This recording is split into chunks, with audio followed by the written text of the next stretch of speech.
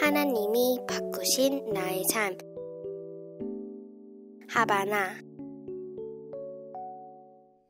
안녕하세요. 유복희 권사님입니다. 하나님의 은혜죠. 하나님의 은혜죠. 제 차를 네 번씩이나 차는데요. 버스 타고 또 그다음에 또 전철 타고 또 그다음에 또 신분당선 타고 3호선 타고 네 번 타요 네 번. 예수 믿게 된 것은 뭐 다른 게 아니고 남편이 아팠을 때 갑자기 일주일 만에 돌아가셨는데 아프다고 그래서 병원에 입원하고 중환자실에 있는데 교회 저기 뭐야 박철진 권사님 네 두뇌가 소개해서 여기 교회 먼저 다니셨어요 그분들이 그래가지고 목사님을 오셔서 다섯 분이지 그렇게 오셨어 병원에를 금방 그 3일 만인가 그 이튿날인가 이제 돌아가셔가지고 장사 모시고 그래고 그래고 그냥 교회 나온 거예요. 수산나 찬양 찬양 저기 그것도 김명자 권사님이 어느 때 날들어 저기 수산나 찬양 들어오라고 그래서 이제 그것도 거기 찬양 들어간 거지. 그래가지고 매년 벌써 몇십 년을 했는데 내가 작년에 다리 다쳐가지고 안 하고는 애들이 가까운 교회를 다니라고 그냥 못 나가게 하고 그래서 가까운 교회도 뭐 어디 갈 만한 데도 없고 그래가지고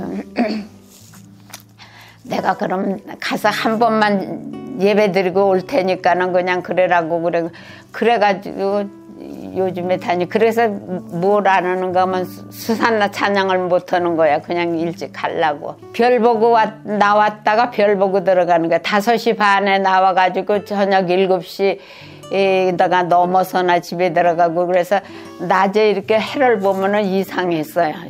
내가 낮에 집에 어떤 때 갈 때 한 번 있고 그러면 어머 내가 이렇게 가도 되는 건가? 내가 그, 그래서 내가 여태까지 수산나 다섯 시에 해서 여섯 시 일곱 시에 이제 집에나 들어가고 그러니까. 그러더니 요즘에 낮에 들어가니까는 너무 좋아. 너무 좋아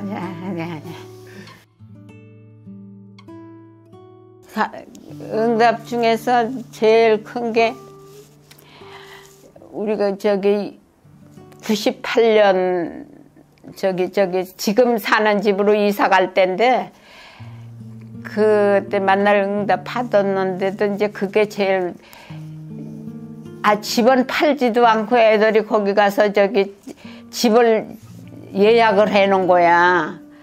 8억 5천짜리를 제 집, 집은 팔리지도 않았는데 그래가지고 파, 집은 날마다 보러 오, 오다시피 하고 그러는데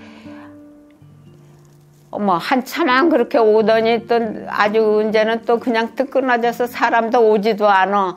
거기다가 계약은 했는데 지금 살고 있는 집을 어 그랬는데 아주 얼마나 그냥 뭐 애가 타는지 그리고 있는데 어느 때그 얼마 있다가 며느리가 나가면서 오늘 2시에 집 보러 올 거예요. 그리고 나가 그래서 옳다 그냥 그러고서는 그때서부터 며느리 문 닫고 나가는 때서부터 그냥 2시간 동안을 그냥 계속 그냥 찬양하고 계속 그냥 찬양하다가 또 기도하다가 또 찬양하다가 두 시간을 그렇게 하고 나서 이제 두 시가 되니까는 진짜 오더라고.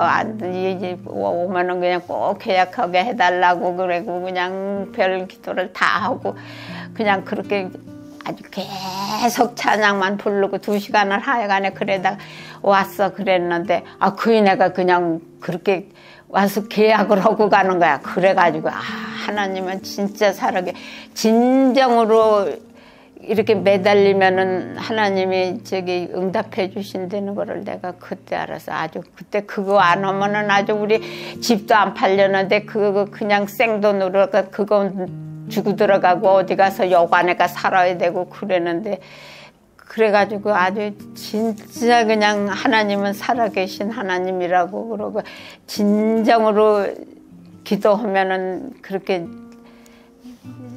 이루어지는 거를 내가 기억해요. 그 전에는. 아유, 그, 그, 그 전에도 나 처음에 교회 다닐 때도 11조가 알, 11조가 뭔지 알지도 못하는데 사람들이 11조, 11조 그래서 이제 그게 5만 원씩 이제 내가 이제 저기 11조라고 이제 냈어 이제 그러다가 어느 때는 아유 돈이 아, 아까운 생각이 나서 한 번 이제 안 했어 그래 그래고 안 했는데 그래고 나서 그때 저기 쓰레기 바깥에다 내놓으면 벌금 물고 그럴 때야 그때 그래 그랬는데 이제 갔는데 쓰레기 그 봉투 요거만한 거 까만 거 그거 바깥에 문 밖에 놨다고 딱 5만 원이 벌금이 나온 거야. 난 아주 그 기가 막혔네. 그러니까 그때는 11조가 뭔지 나 교회도 그냥 나 혼자 왔다 갔다 하고 그러는데 누가 11조 11조 하고 11조 한다고 그래서 아이고 나도 그냥 해보고 싶어서 5만 원 11조라고 써서 봉투에다 내고 이제 계속 그러다가 그거 한 번을 이제 아이고 뭐 안 내면 어때? 뭐 누가 뭐 내려는 것도 아니고 보는 것도 아니고 뭐 이거 아, 아까운 생각이 나서 안 해서 그랬더니 딱 11조. 그거 5만 원 안 낸 게 뭐 5만 원이 벌금이 나와서 아유 하나님이 이거 내가 이렇게 이래도 뭘 보시고 아시는구나 그래 근데 그때서부터 그냥 한 번도 안 빠지고 그냥 많지는 않지만은 그냥 그렇게 하고 11조 지금까지 그냥 11조로 그렇게 했어요.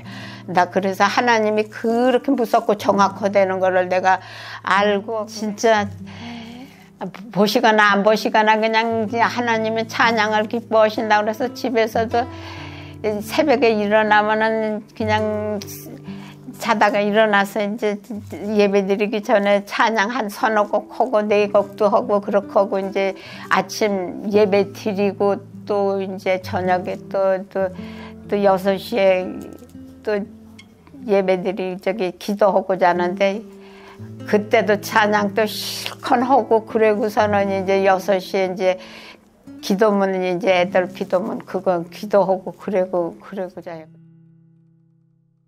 여호와는 너에게 복 주시고 은혜 베푸시기를 원하며 여호와는 그 이름을 음, 저기 이름 부르면 남식에게 평강 주시기를 원하노라 하고 그런 이제 그 기도 한 사람씩 그냥 아주 식구대로 그렇게 하고 그냥 계속 기도하고 예수 잘 믿게 해달라고 이제 다윗 같은 믿음을 주시고 솔로몬 같은 지혜를 달라고 그러고 또 며느리 이름 부르고 또 그렇게 그렇게 또 이제 그렇게 하고 아주 애들 열 명을 다 그렇게 날마다 그냥 아침마다 그렇게 기도를 해도 아 이게 애들이 예배를 안 드리는 거야. 그래.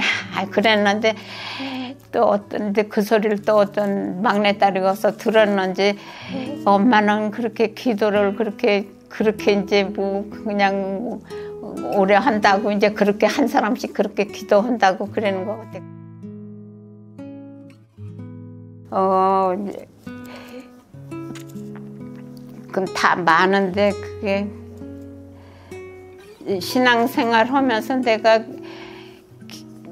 내가 기억에 남는 거는 이제 진짜 내가 저기 중보기도 들어왔다는 거 참 내가 아주 참 그때는 기도를 못해서 기도를 못해서 기도 배우려고 중보기도라고 그러니까 이제 가르치는 줄 알고 그때 일기예요. 저기 박영자 장로님하고 지금 남은 사람들 별로 없어. 송금진만 남고 일기 기도원들 없어. 다 다 그만두고 저기 손금진하고 나하고밖에는 없는 것 같아. 뭐 저기 옛날에 그 시작하던 사람들 많은데 다 없어지고 그래가지고 그거 참 들어와서 내가 기도 배운다는 게 배우는 줄 알고 들어왔는데 배우는 게 아니고 그냥 하는 거더라고. 그 그리고 또 거기서 이제 이렇게 여러 사람과 또 이렇게 알고 그러는 게 참 그게 좋았었어요. 아주 이렇게 저기 아유 나 같은 사람이 저렇게 저런 사람들하고도 저렇게 어울려서 그냥 그렇게 참 지내게 해주셔서 감사하다 그래서 나는 나는 진짜 배운 것도 없고 뭐 아는 것도 없고 이렇게 부 족한데 내가 저런 사람들하고 저렇게 그냥 같이 이렇게 기도를 하고 이렇게 하는 게 그게 그런 게 참 고마웠어요. 그게.